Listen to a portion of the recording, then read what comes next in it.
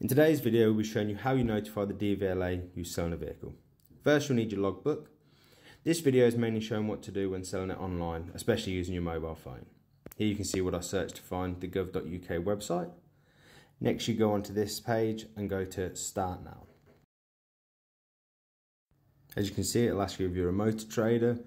Usually you're going to click no here. Then on the next page, it's going to be asking if you sold your vehicle, put it in someone else's name, scrapped or written off, or if you bought it. You're going to be putting sold. Then it will give you the option, did you sell it privately or to a motor trader? We're going to be showing you both options here.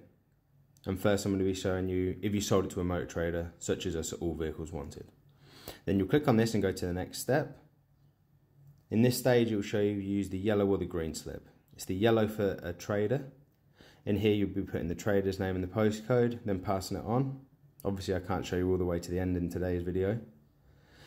In the second part, I'll be showing you how to do it if you sold it to a private person. And in this, you'll be using the green slip new keeper. And again, you enter the details off your logbook, which you had at the start of the video and you'll be putting the person's information in. You can also get confirmation via email by selecting yes in these boxes and entering an email. You can do your own or the person that you're selling the car to. Again, I'm not able to show the whole video here, but you just go through the stages and it's quite an easy process. If you were to do this via post, you do the yellow slip for a motor trader and the green slip if you're doing it to a private person or a private sale. In the rest of this video, I'll be showing you how to do change your name on your logbook or address or both. If you go to the Gov website, again, it shows you all you need to do. And if you need to see any of this, pause the video to stop, look exactly what you need to do.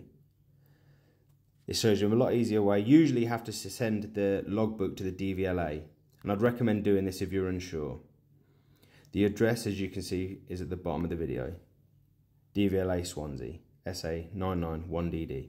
And what I usually do is in brackets say exactly the reason why you're sending that letter to the DVLA. So change of ownership, change of address, anything along those lines.